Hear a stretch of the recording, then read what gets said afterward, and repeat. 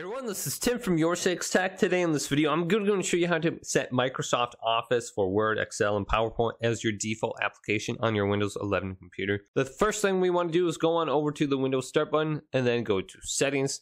Now under here, let's go to Apps on the left side of the screen, select this, and then go to Default Applications. Now you can scroll on down through this list to find Excel, PowerPoint, or Word. Otherwise, we can just type in in right here set default application. So let's go to search for apps and just type in Word and see what pops up. Now I'm going to go to an application that's similar to Microsoft Word, WPS Office. Then in here, I can choose a default application for all these different file types. So it says choose default next to them. So I can go to it. Then I can switch this over to Microsoft Word from here. And then I can just set the default application for all these different file types. So go ahead and do this and then do it for Excel and PowerPoint as well. So hopefully this video did indeed help you out. If did, leave it a big thumbs up and subscribe to my channel down below for more tech out videos coming up next on Your Six Tech.